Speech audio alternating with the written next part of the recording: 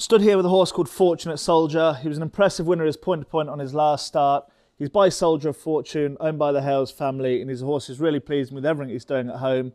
I would imagine he'll start off in a maiden hurdle in the coming weeks. He shows me plenty, and hopefully he's a horse who's going to progress into a really nice time.